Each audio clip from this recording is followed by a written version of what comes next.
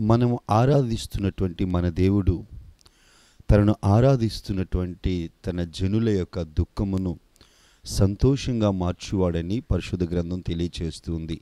ఈ విషయాన్ని మనం యశా గ్రంథం అరవై ఒకటవ అధ్యాయం మూడవ వచనంలో.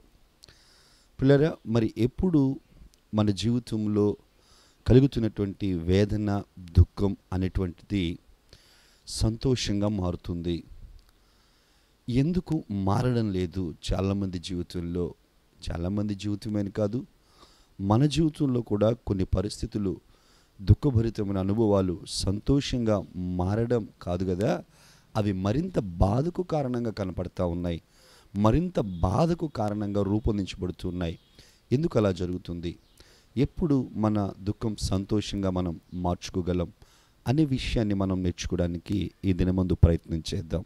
మనం ఎప్పుడైనా సముద్ర తీరమందలి నడుస్తూ ఉన్నటువంటి అనుభవంలో ఉన్నట్లయితే బలమైన గాలి వచ్చినప్పుడు ఆ గాలికి ఇసుక మన కంటిలో పడితే మన కన్ను చాలా బాధను అనుభవిస్తుంది.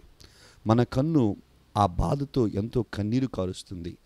ఆ బాధ కొన్నిసార్లు తీవ్రమైన నష్టానికి కారణమవుతుంది. అదే ఇసుక ముత్యపు చెప్పకలోనికి కనుక వెళ్ళినట్లయితే ఆ ముత్యపు చిప్పలో ఎంత ఇసుక వెళ్తుందో ఆ వెళ్ళినటువంటి ఇసుక ముత్యముగా ఎంత ఇసుక వెళ్ళిందో ప్రతిగా అంత ముత్యాన్ని అది జనరేట్ చేయగలుగుతూ ఉంటుంది.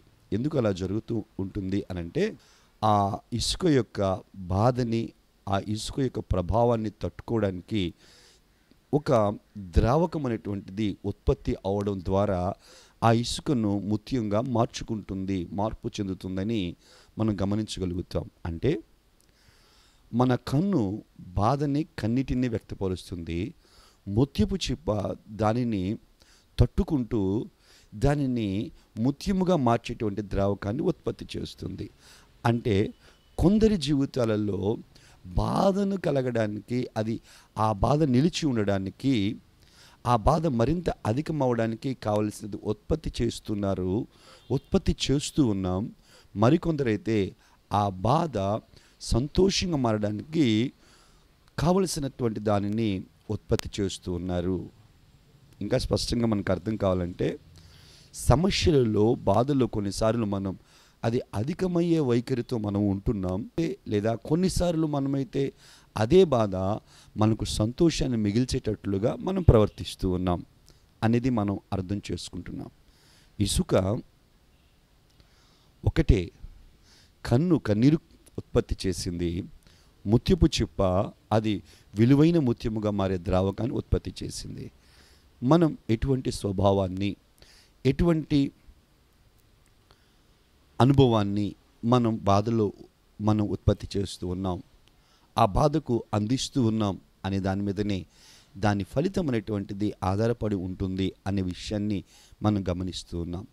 ఒకసారి మనం పరిశుద్ధ గ్రంథాన్ని గమనించినట్లయితే నయోమి అనేటువంటి స్త్రీ తనకు కలిగినటువంటి ఆ బాధలో ఆ దేశమంతా కలుగుతున్నటువంటి ఆ కరువులో తను మోయాబుకు వెళ్ళాలనేటువంటి ఆశని ఆ మోయాబు అనే ఆ శపితమైన ప్రజల మధ్య జీవించాలనేటువంటి తీర్మానాన్ని ఉత్పత్తి చేయడం ద్వారా తన సమృద్ధి అంతా కూడా రిక్తముగా మారిపోయింది అని మనం చూస్తాం. నయోమి అనేటువంటి తన జీవితపు అర్థం మారాగా మిగిలిపోయింది అని మనం గమనిస్తాం. అదే శాంసన్ అంటూ ఉన్నాడు ఒక పొడుపు కథను వేసి. బలమైన దానిలో నుంచి తేనె వచ్చింది.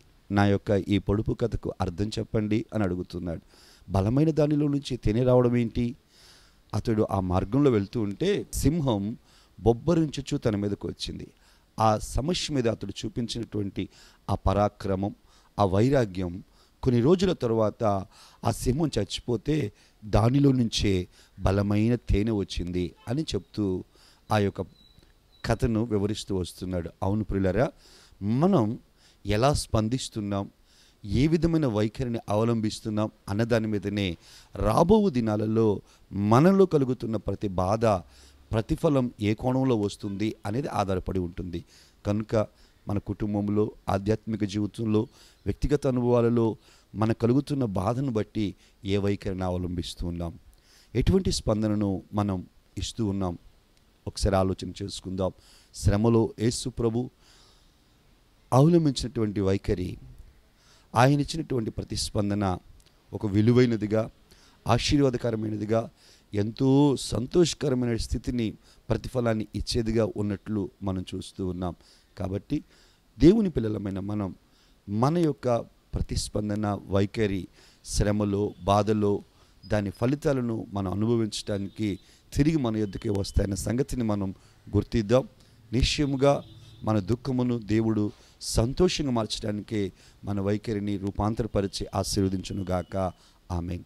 God bless you all. Have a nice day. ఇలాంటి వీడియోస్ కోసం మీరు ఛానల్ సబ్స్క్రైబ్ చేసుకోండి. అలాగే ఎవ్రీడే మార్నింగ్ అందించబడినటువంటి మరిన్ని వీడియోస్ని మన ఛానల్లో ఉన్న ప్లేలిస్ట్లో మీరు ఒకసారి చూడండి. ఆధ్యాత్మిక జీవితానికి ఆశీర్వాదకరంగా ఉంటాయి. అంత మాత్రమే కాదు మీ స్నేహితులకు శ్రేయభిలాషులకు ఆత్మీయులకు కూడా అందించడానికి ప్రయత్నించండి. God bless you all. Have a nice day